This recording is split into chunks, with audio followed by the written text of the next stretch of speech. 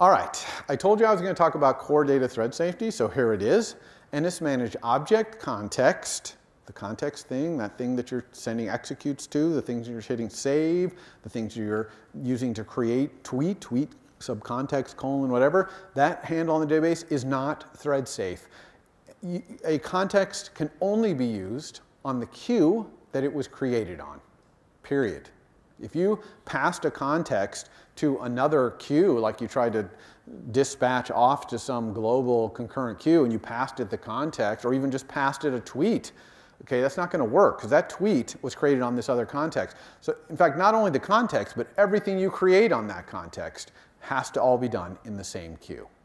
So now you're probably thinking, well, how the heck do I do multi-threading then? Because a database, especially, you can imagine for example, wanting to load your database off the main queue because you, might be loading lots and lots of things. Now your queries, you're probably going to do those on the main queue because the user's looking at that information. You want to be highly responsive. Okay, it's probably worth, and core data is super fast, especially with queries. So you could probably do that on the main queue. But loading it up, you probably don't want to do that.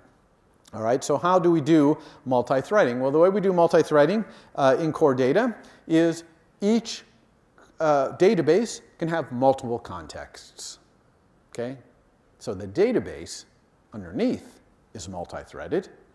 It can have multiple contexts writing to it. Okay? Completely different context writing to the same database in different queues even. So it's fully multi-threaded. So that means we had to have a context for every queue. Whatever queue we're going to access the database, we have to have a context in every queue. Now I'm going to show you how to create a context or on another queue, so you can do something on another queue in a second here. But first I want to talk about this important method in context called perform block.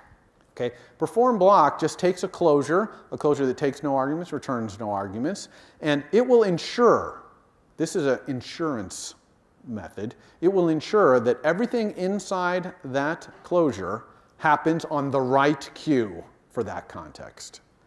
Okay, so this, don't get confused, this method does not dispatch you know, uh, cause background threading. What, this is just making sure that that closure executes on the right queue.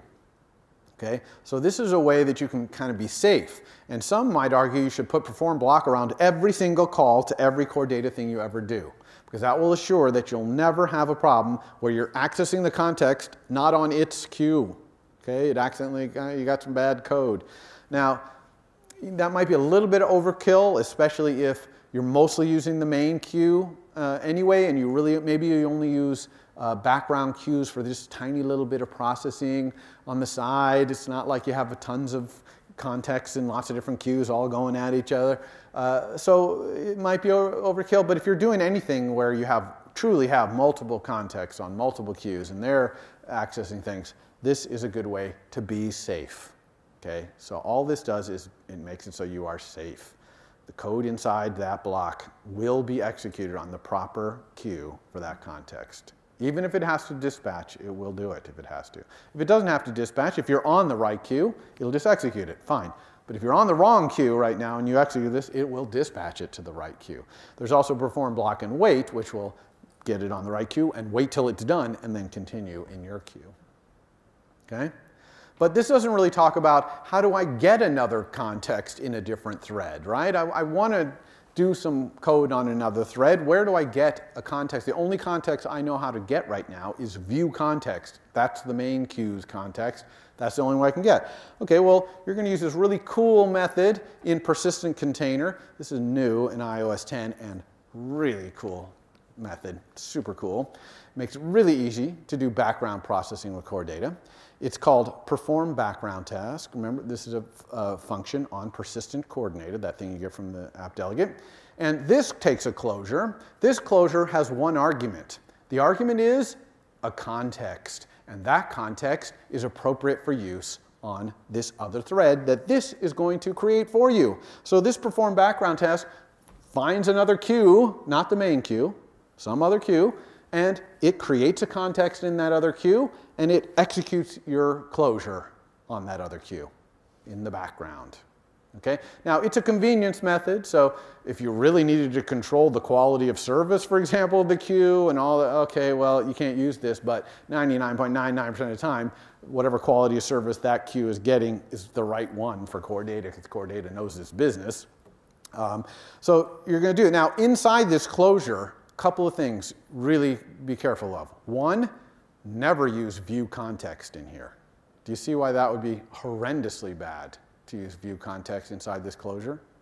Because this closure, by definition, is not executing on the main queue.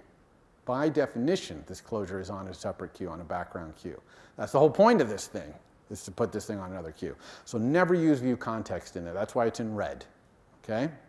The second thing is, don't forget to save this context.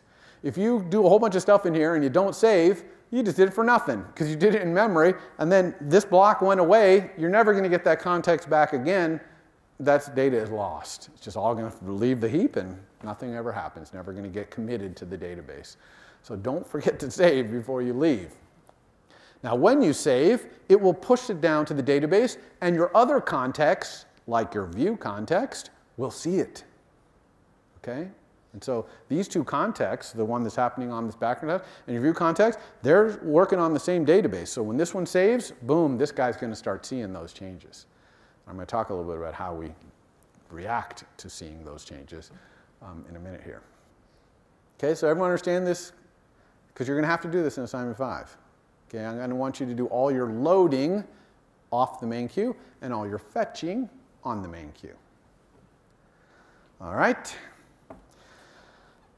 Core data is huge, uh, huge. There's not really, I can't cover it all. Um, it's got optimistic locking, for those of you who know about database, it's got optimistic locking and all that database uh, stuff. It has full undo redo, which is incredible. It obviously knows how to roll back unsaved changes. Okay, if you have changes in the memory and you want to roll some of them back, you can do that before you save. It knows about staleness, like if I make a fetch, how long before I really want to fetch it again because I don't trust that the data hasn't changed, right? How, how, how long does it take for the data to get stale? And a lot of other things uh, in core data. So I can't cover it all, just not enough time to do that because I still have to talk about a whole another topic about core data here. Uh, but you'll want to check the documentation. You won't need anything else of this stuff to do your homeworks, of course. I'm just trying to get you started with this. Uh, but you need to know that this stuff is in there so that one day uh, when you go out and do some significant iOS database stuff, you'll know that these features are out there.